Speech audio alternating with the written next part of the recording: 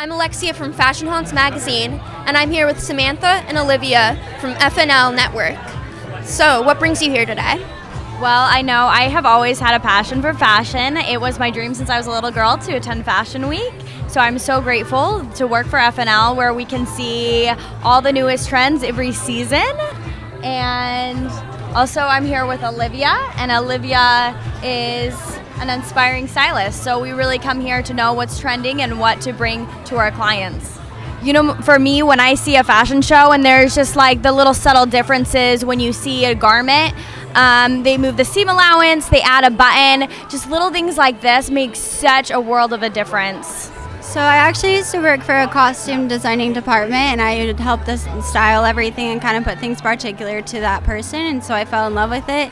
And I've always just loved expressing myself in my own way and I love dressing myself and I wanted to make other people feel comfortable too that way.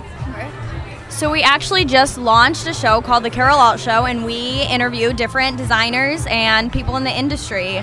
It's really it's more of a personal interview. You get to know things you wouldn't usually hear, like in Carol Alt's living room. So that we film all the fashion shows.